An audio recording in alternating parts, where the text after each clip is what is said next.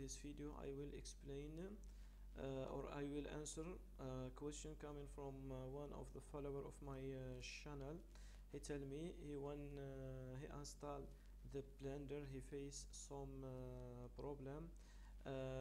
They tell him you must install some for uh, you have missing some uh, DLL system or you need some Python uh, file. He don't understand what's the meaning the meaning is too easy because the blender is uh, because the the programming language of uh, the blender is uh, python and you need a library uh, to work uh, to work fine.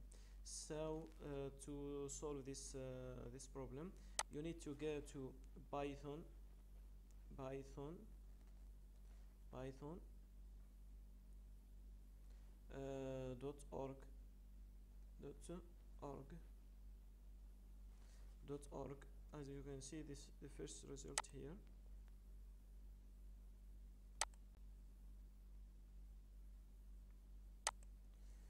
And uh, go to download. As you can see there is uh, the last uh, release of uh, python is uh, 3.7.3 i recommend to download it and you can find the old uh, release and uh, if your system is windows you can find your package here or linux or mac or other system. When you install this uh, package everything going well.